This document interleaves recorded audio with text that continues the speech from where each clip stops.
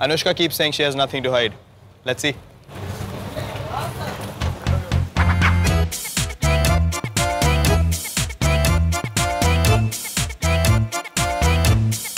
Nothing to hide.